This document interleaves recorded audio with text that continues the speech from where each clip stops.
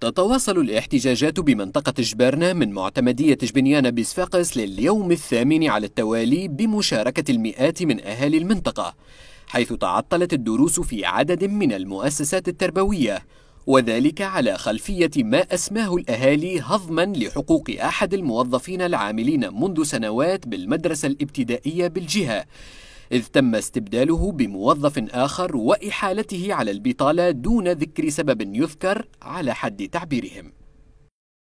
نخدم آه، قاعد نطيب ننظف كل شيء نعمل فيه هني. آه، في الليل نعس ما ما عملت حتى إشكالية معناتها. قايم بالوجه نتاعي والأرض الأرض نتاع جدي فهمتني. وشد فيها وشد فيها أبويا معناتها. أبويا توفى في حد سيارة. فهمتني. وأمي خرجت مسوكته من هنا هكا. معناتها مرضت كل شيء وما راح كان يبعثوا لي واحد في عودي. عندنا ثقة كان فيه هو ثقة في الله ولكن ثقة فيه هو برك. وما فماش حتى إنسان آخر مش يخدم ولا حتى ولد المنطقة هذه ما يخدم حتى واحد إلا مهر. أي صغير يمرض يوصلوا مهر للدار. أي صغير تصير له أي حاجة يكلم دارهم حاجة. صابت المطر ما يخرجوش من المدرسة جملة. كياس مش عاد مش طريق ما يتعداش إلا ما يعديهم هو واحد واحد.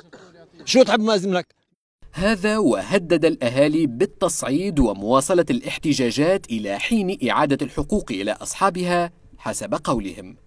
ما فماش حتى ولي مش يقري ولده إلا إذا كان صار انتداب رسمي للوليدة ضي مهر راه ماهوش هو اللي مسكر المدرسة الاولياء هم اللي مسكرين وما هيش مش تتحل. وفوق هذا الكل السيد معتمد والي غيره كل ما تلفت حتى واحد.